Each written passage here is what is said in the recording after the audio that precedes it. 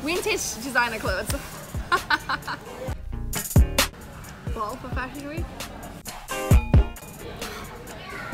But that stuff.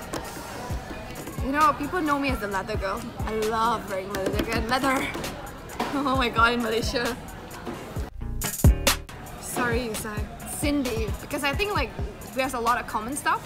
So I think it will be a really fun gold trip. Sorry, I'm so Bollywood. Curry, curry. Curry, for sure. Uh-oh. Uh-oh.